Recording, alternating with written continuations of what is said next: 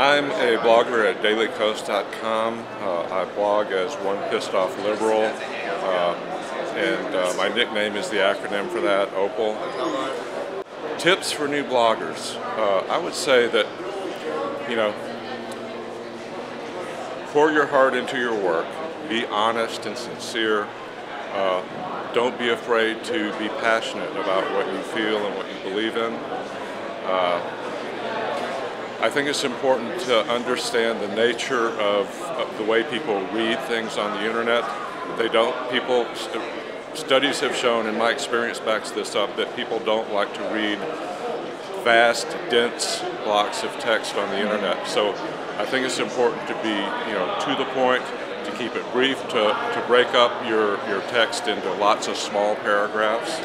Uh, I find that uh, I use a lot of uh, photographs and uh, YouTube videos, uh, music, and, and, other things to make my uh, posts more multimedia, and I find that that creates a lot of interest.